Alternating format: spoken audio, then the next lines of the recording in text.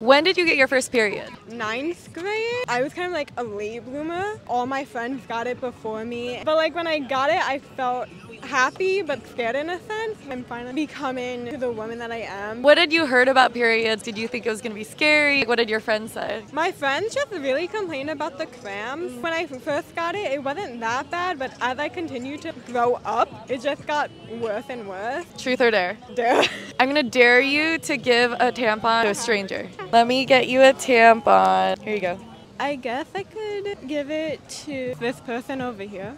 Hello, sorry to bother you, but I'm actually with August Period Company. That's like a good period company. It's very environmentally sustainable and they're very comfortable and leak proof. I would like to offer you a super tampon for free.